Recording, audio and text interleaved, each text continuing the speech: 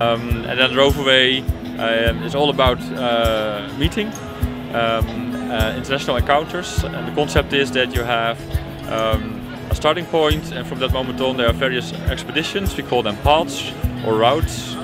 Um, and after let's say five, six days they come back to um, a main camp and there we celebrate to be together again um, for about five days.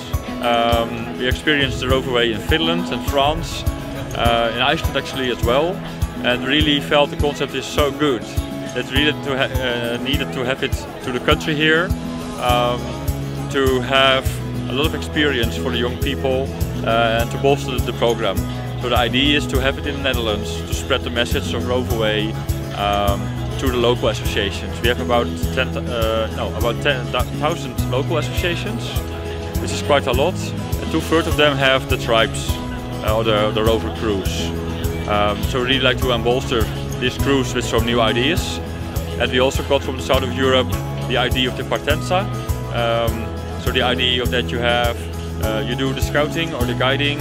Um, only when you're fully grown up you realize what scouting is really um, uh, means for you. And to make a decision if you continue with scouting for the rest of your life. And if you do so, then it's up to you to um, make an experience for the next generations after you to um, have the same development and to have the same feeling about scouting. Um, so we actually introduced that concept um, into our association. It has been lost a bit because of individualism, um, because of all sort of developments.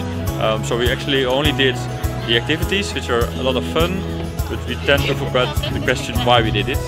Um, and really felt when we did all the encounters abroad um, that we found um, the reason why we need rovering again um, with a priority on our national agenda.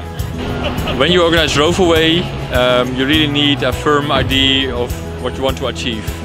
I really believe in the power of young people to be in the lead. And we also really believe that um, if you really like to live up to the mission of Scouting and why we are here on Earth, um, and you follow the program of what Scouting and Guiding is about, uh, it actually means that for the Rover Age section, um, uh, they are there to make their own decisions. Um, um, if you really um, feel that, it would Roverway provides a lot of opportunities to experiment with all sorts of methods to, um, to put young people in the lead. Hasta luego, muchas gracias España.